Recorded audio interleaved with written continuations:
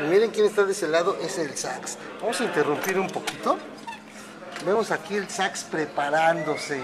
Carnalito, ¿cómo estás? ¿Con quién te vas a aventar la paloma? Los carnales de la tremenda. ¿Tú cómo estás? Pinche sax, todo- eres muy carismático y además de buen músico porque todos te jalan, ¿no? ¿Qué? Como que todos quieren tocar contigo, ¿no?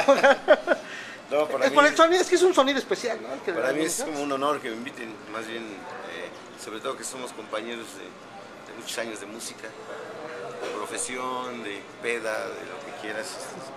Pero más que nada es eso, para mí siempre, siempre a mí en la vida lo que sea tocar y compartir con mis amigos, bienvenido. Y que has podido vida. compartir varias. Sí, veces, más, ¿no? es más que nada eso, no es tanto que, que ande así hueseando por huesear, más bien es eso, son músicas con las que crecí, ¿por qué no tocarlas? No me, no me afecta, la música no hace daño. No, no, al contrario, siempre va a ser un placer, pues ya vas a ver cómo se va a aprender la gente cuando anuncien. ¿En qué canción vas a estar?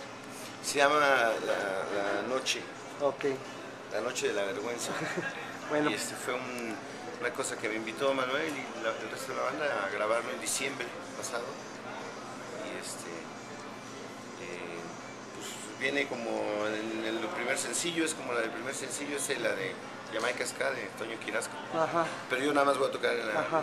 en la noche de la vergüenza. Y este, pues aquí estoy. Pues bien, entonces mi sax Es que siempre un repasón.